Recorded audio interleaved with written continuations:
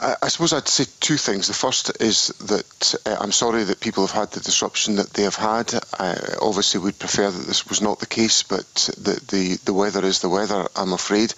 The second thing is but that you can't just say the weather is the weather. It's no, We've no, always well, had great well, storms, and the weather might be getting slightly worse, but there must be some sort of resilience we could build into the systems for it. Well, that's, that's the second point I was going to come on to, which is that we have to explore and the power companies particularly have to do this uh, as to how they can build more resilience into the network. Now, some of that may be at the elementary end of the spectrum of undertaking uh, proactive tree cutting to make sure that power lines are protected as far as possible from the falling of trees. Uh, during Storm Arwen, I saw incidents where um, there was tremendous congestion of trees around about power lines that were obviously had caused significant damage.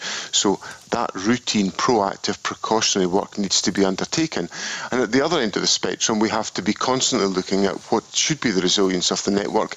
Should we have um, uh, as many power lines that are uh, overhead power lines? Should we look to be undergrounding power lines? Obviously, there will be a financial impact of that on the um, the uh, investment that's got to be made in the network. But these are all issues that need to be looked at, given the increased severity of wind uh, and incidents of this type. Is that work already underway, or has that yet to start in terms of even looking at how, how to, you know, cable people in um, underground or, or, or differently?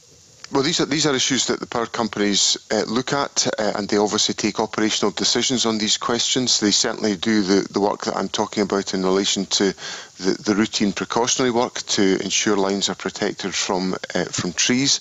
Uh, but obviously, there is a dialogue that the power companies have to have with Ofgem about the financing that's available to invest in undergrounding arrangements, and all of that is part of the regulatory environment, which of course is a reserved issue. And uh, in the aftermath of Storm Arwen, the United Kingdom government and Ofgem embarked on those discussions with the power companies, and obviously we will remain very closely connected to those conversations.